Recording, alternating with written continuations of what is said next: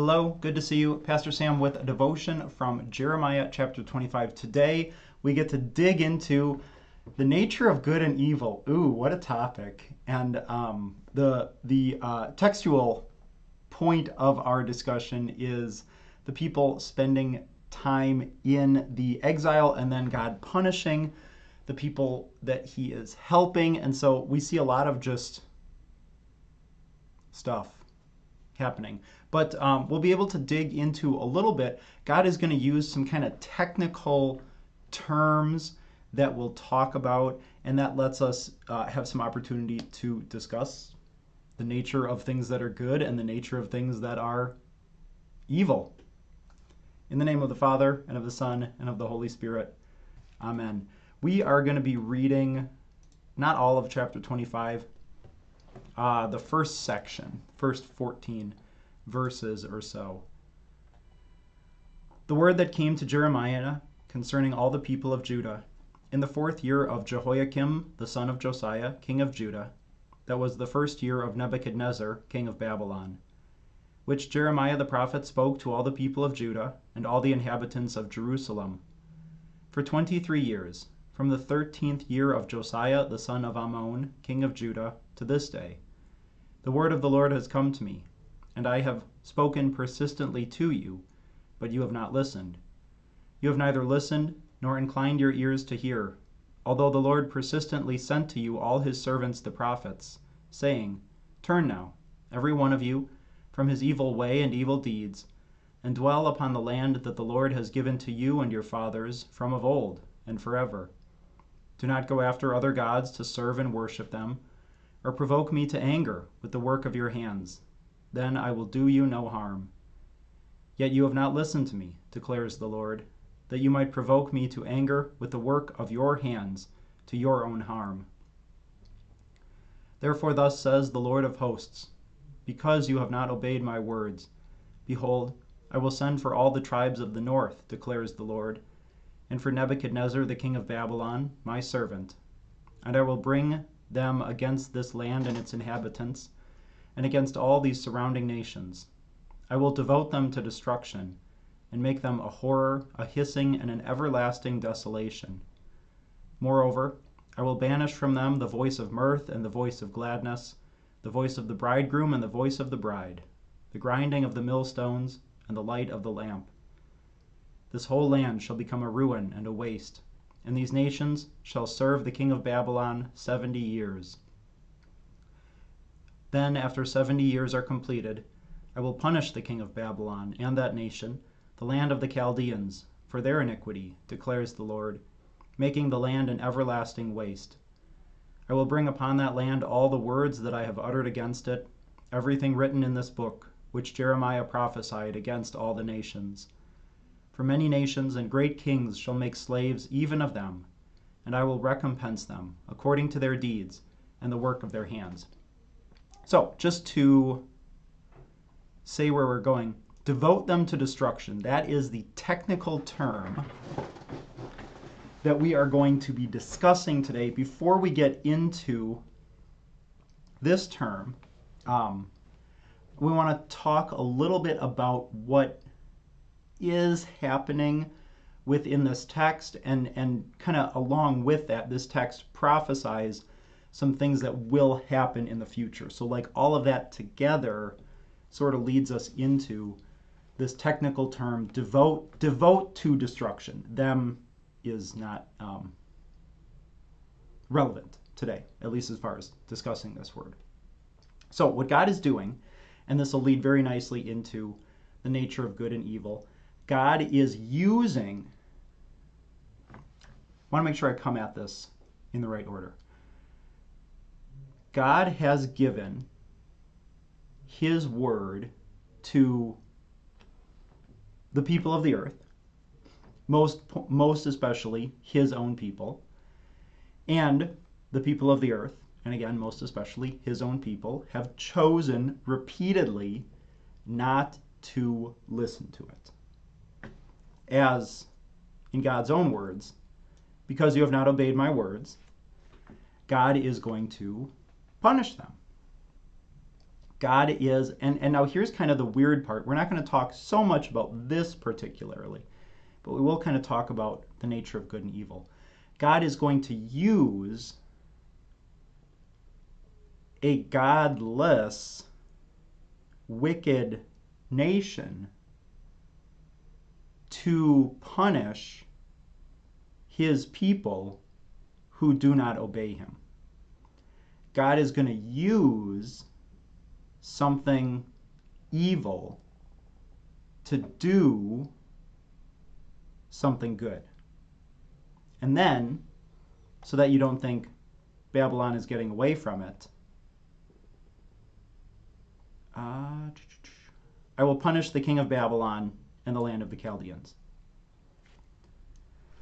God, and, and so everyone gets what they deserve, is the bottom line, the end of the story. Now, I want to, that was, that was fast.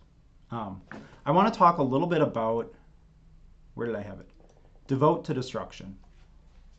So, if you have, and mine might look a little bit different than yours, if you have a study Bible, a Lutheran study Bible, there are quite a few helpful notes in that study Bible. And I'm sure there's nearly countless times that I have encouraged you uh, either to get one of those or to use one of those. Uh, I want to talk a little bit about what I did and then kind of why that's helpful. So I I um, I had an idea that actually ended up being right, so that was nice to find out. But I had an idea that this was kind so a technical term. A technical term uh, means a word that's used to always refer to this thing. That would be a technical term. And when God says devote to destruction, he means the same thing by it.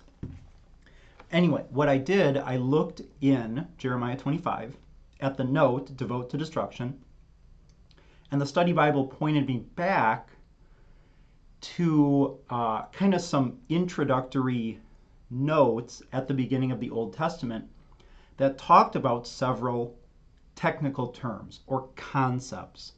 Um, the Hebrew word kesed, which we usually translate as love or steadfast love, is one such technical term with a myriad of um, different meanings. I don't want to get sidetracked into that.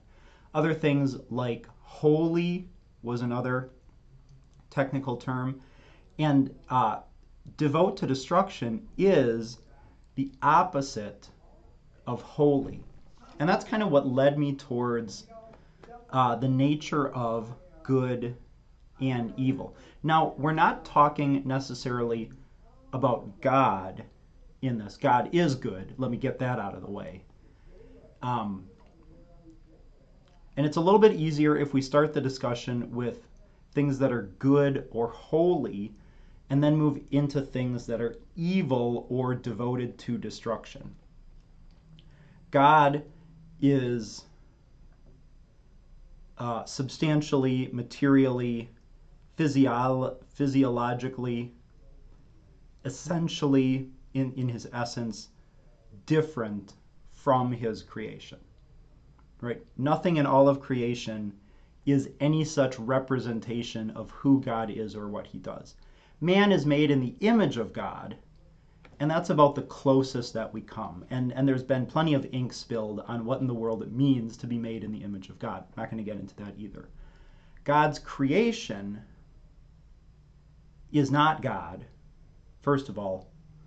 And, and I will argue, at least in this devotion, is not a reflection of God.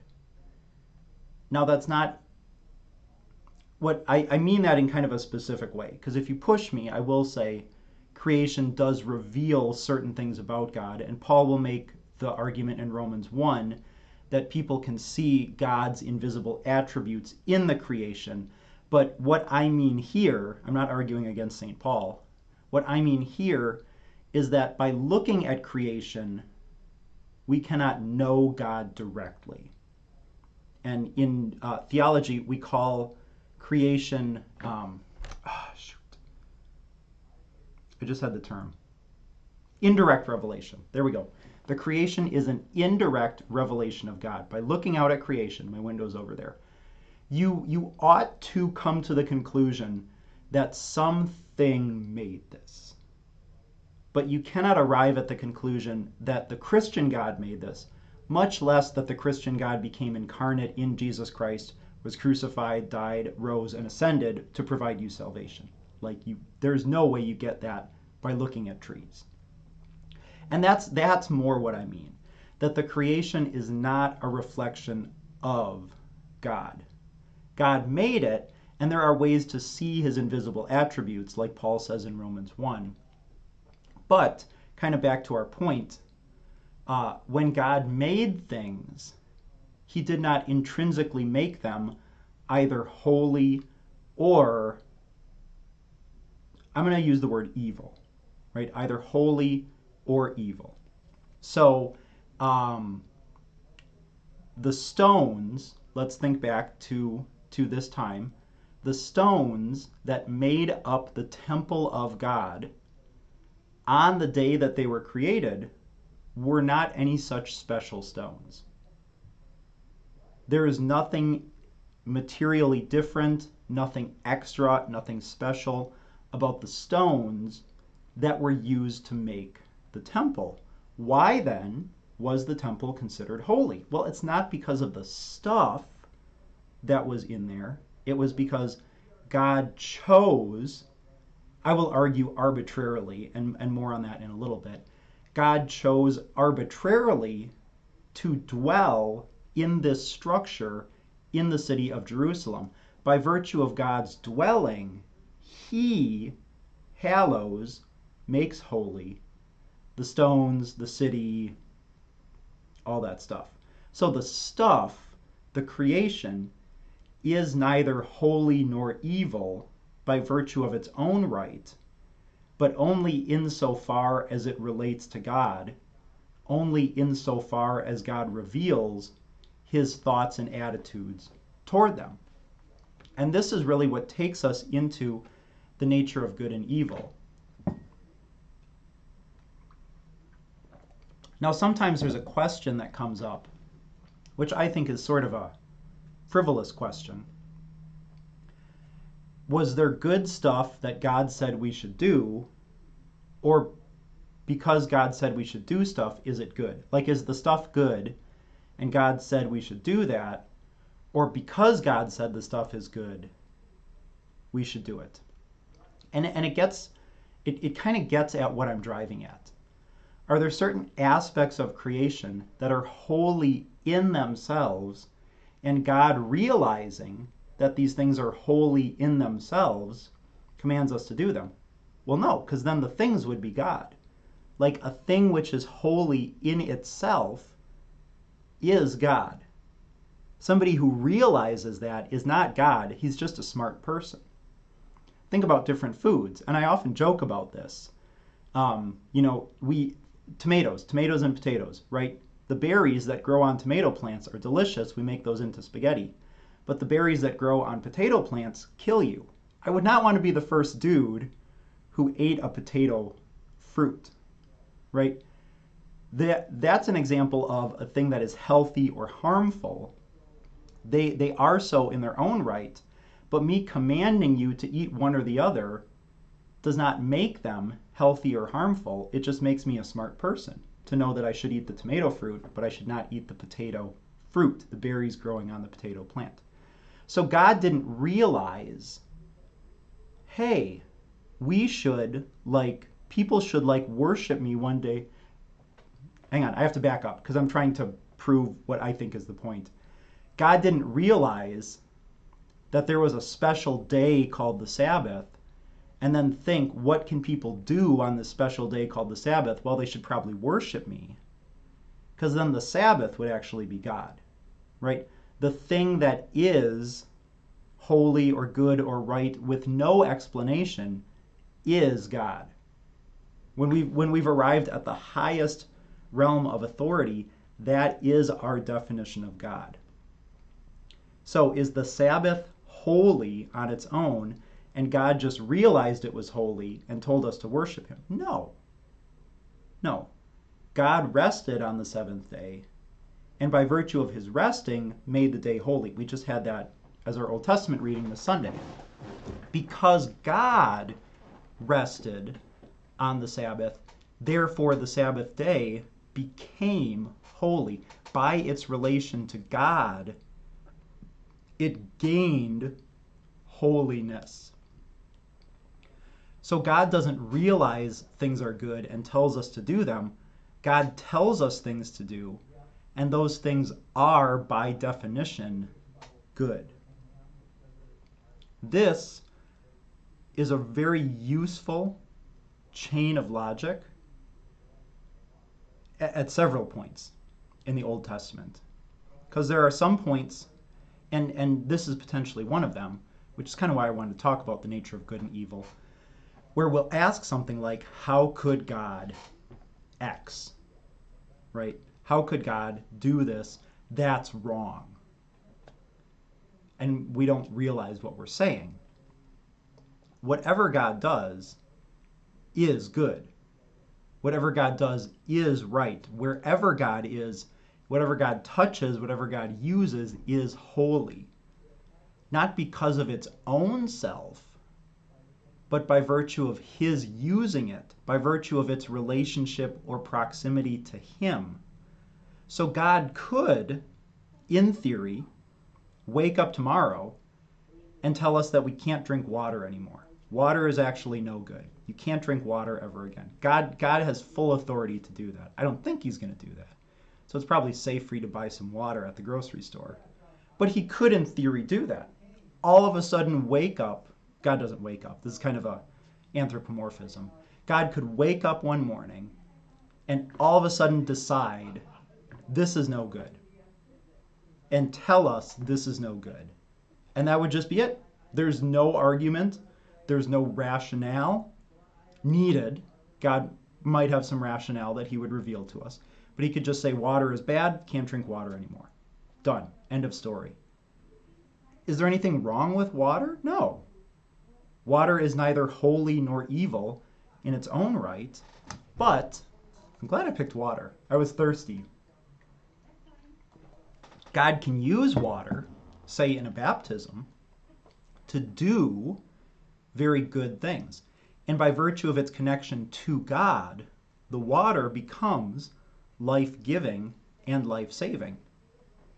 The water, since I've chosen water, could also be rain for 40 days and 40 nights, a la Genesis 6 through 9, and drown all living things, except for Noah and his family and the animals on the ark.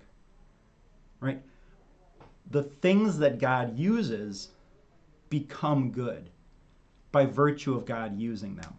So, that question that I kind of started off with are there things that are good that God then tells us to do? Or does God tell us to do things and they are good? It's the second one.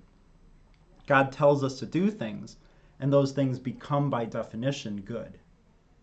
God tells us not to do things, and those things become by definition evil not because they are good or evil in themselves, but just because of God's command. Which I kind of said that I would talk about this later, which is in some way arbitrary.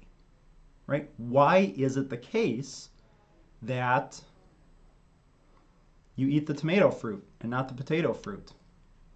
I don't know, because God made the tomato fruit healthy and we get delicious spaghetti. And the potato fruit is a relative of nightshade, and it'll kill you if you eat enough of them. Why did he do that? I don't know.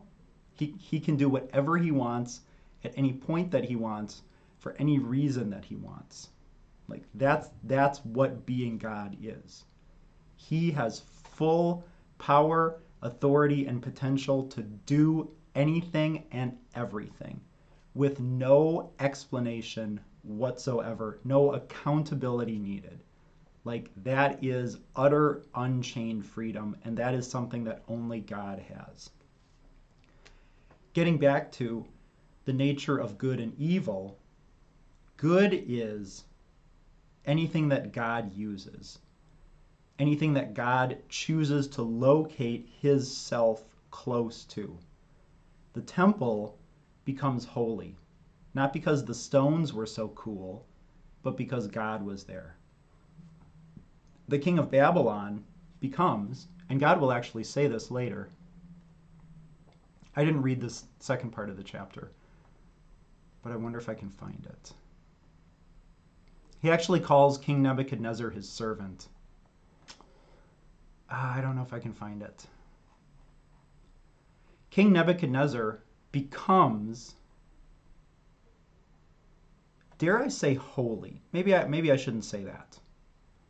King Nebuchadnezzar becomes at least good, not because he as a person is materially different from any other person, not because he as a person has chosen to love and follow God, simply because God decided to use Nebuchadnezzar to accomplish his desires. So Nebuchadnezzar is a holy instrument, maybe that's how I can say it, is a holy instrument of God, a thing that God uses to accomplish what God wants done. Then God can turn right around and punish the king of Babylon and the land of the Chaldeans. And that's kind of where we come back to where we started devote to destruction. So God will sometimes use the word uh, set apart to mean holy. And, and again, we can think about the stones of the temple. We can think about the gold uh, overlaid on the, the, the utensils of the temple. None of those are special or whatever on their own, but they have been set apart for service to God. And by virtue of their service to God, they become holy uh, instruments, holy implements. Think about, and Pastor Urbach talked about this uh, in his sermon. Think about the pulpit. The wood of the pulpit was just wood. There were two boards sitting there and somebody chose to use this board and didn't choose to use that board, not because this board was holy or because there was a cross inscribed on it or something, but they just picked this one. And it became the pulpit, a place where God's word is proclaimed to his people. And it's the by virtue of that proclamation that the pulpit becomes a holy place and a holy thing because of its relationship to God. It has been set apart for proclaiming the gospel. The opposite of being set apart for God is then being set apart from God, or, back to the technical term, devoted to destruction. Now, the note in the study Bible gives really good insight, and I would encourage you, if you have a study Bible, it's uh, kind of at the beginning of the Old Testament, even before the book of Genesis, before the introduction to the book of Genesis. And, and, and it's that word devote to destruction. There's a Hebrew word, uh, karam. You got to clear your throat. Haram is uh, to devote to destruction.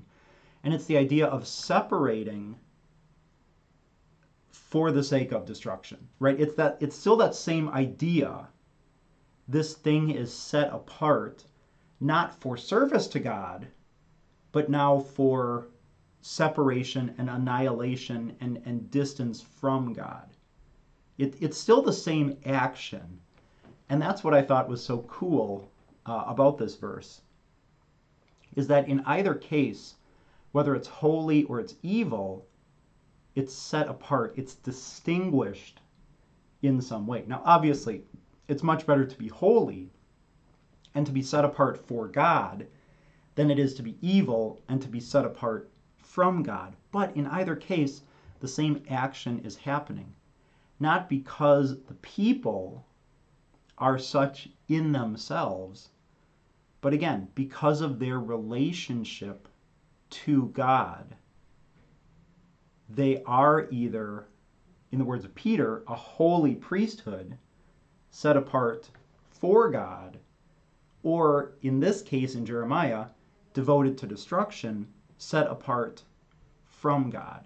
And they are removed from the land, removed from God's presence in the city of Jerusalem, removed from, at least we can say, God's face. Now, God doesn't abandon them, and that's kind of part of the message of the coming chapters in the book of Jeremiah.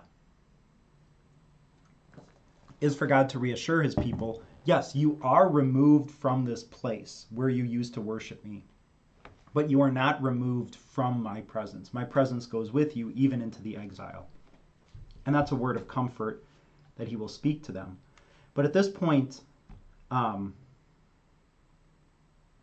God is separating his people, not for the sake of be, them being a light to the nations, that was his original intent, but for the sake of destroying them. Hopefully, at this point in the devotion, you can answer my question Is God devoting his people to destruction a holy thing or an evil thing? Again, anything that God does is, by its very definition, a holy thing. God can't do anything bad, right? That's one of them, their paradoxes. Like, anything that God does is holy. So, can God ever do evil? No, because the definition of good or holy is whatever God does. So, could God do something that God doesn't do? No, of course not. That's crazy. God, God, God literally can't do an evil thing. It is, it is technically impossible for him to do an evil thing. Because for him to do an evil thing, he would have to do something that he doesn't do. But of course, anything that God does is something that God does, and anything that God does is holy. So everything that God does is holy.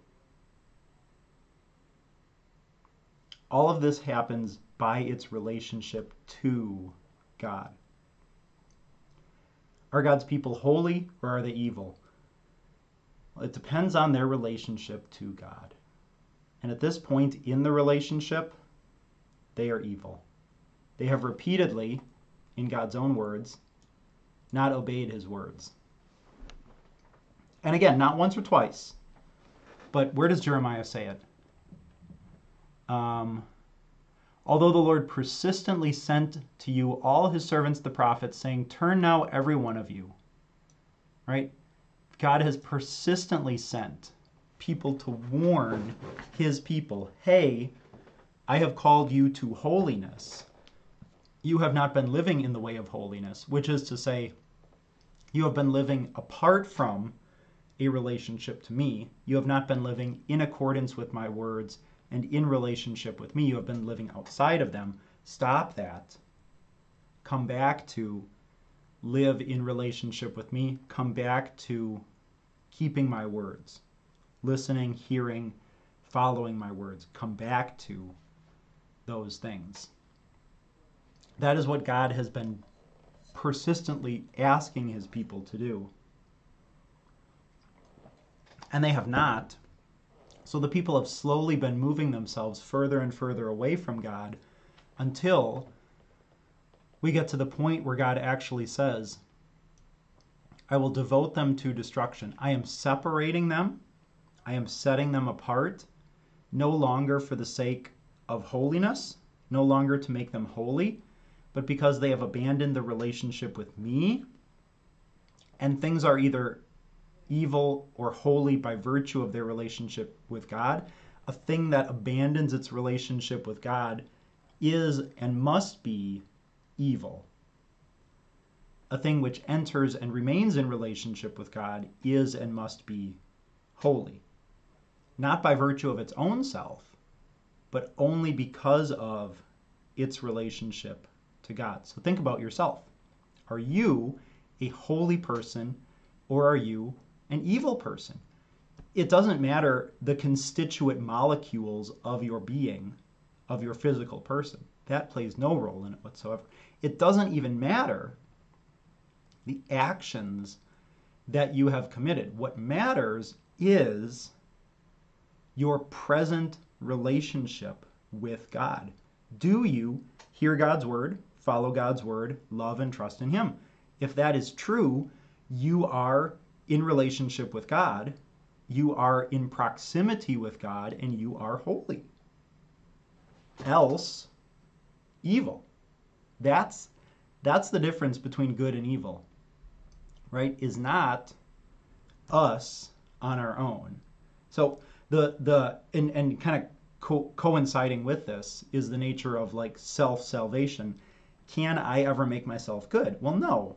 To make myself good, to make myself holy would be to f- somehow force myself into a relationship with God and a relationship that He does not want. Can I ever force myself into doing something that God does not want done? No. If I could, I would be God. And God wouldn't. If I could force God to do something that God doesn't want to do, I would be God. And I am definitely not God.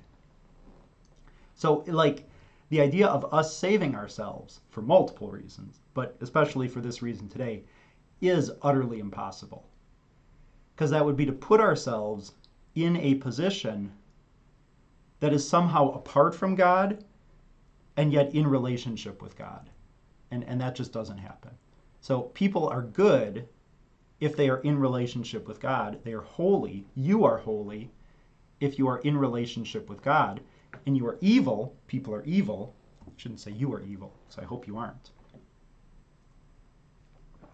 People are evil if they have no such relationship with God, no matter what actions they might commit. And this is sometimes lots lots of rabbit holes to track down today. This is sometimes difficult for us to imagine because we conjure up the idea of a sweet old lady who is not who does not love God. And and we we hesitate to call such a person evil. And what we're trying to do is say that somehow this person is holy by virtue of her own self and apart from a relationship to God. And in doing so, we make this sweet old lady God.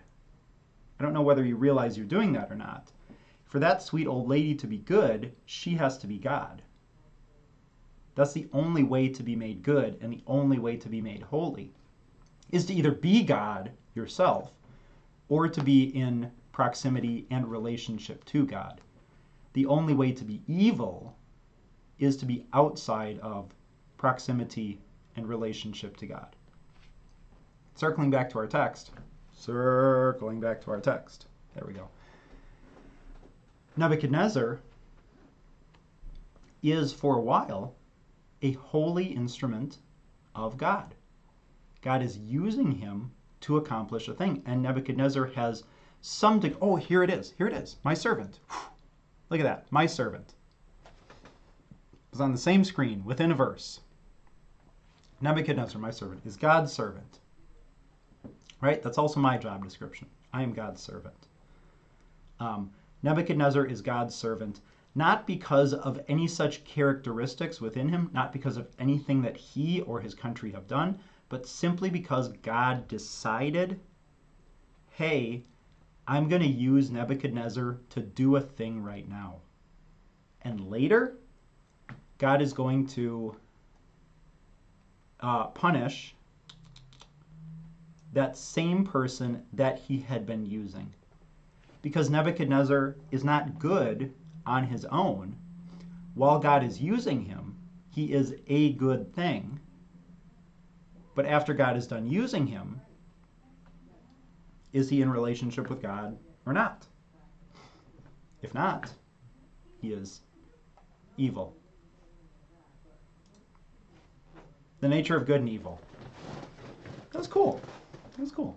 Uh, hopefully you learned something from this one. Less textual than I've been in the past, but uh, still somewhat textual, I hope. Anyway, um, I hope that this can help to for you to be able to see the Old Testament with fresh eyes. We, we run into this problem with some frequency um, that we somehow think the God of the Old Testament to be this cruel person without realizing that that things are neither good or evil on their own right, but only insofar as they relate to God.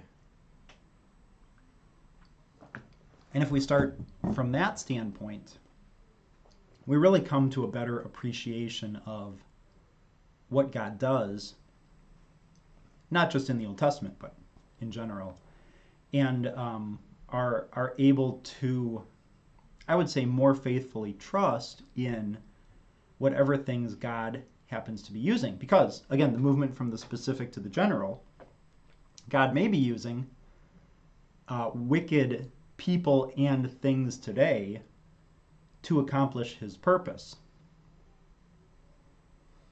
Anyway, uh, with that thought out there, let's pray. Dear Lord God, you are holy, and as we come to be your sons and daughters in baptism, you make us holy. Continue to help us live holy lives, trusting in you and following your word.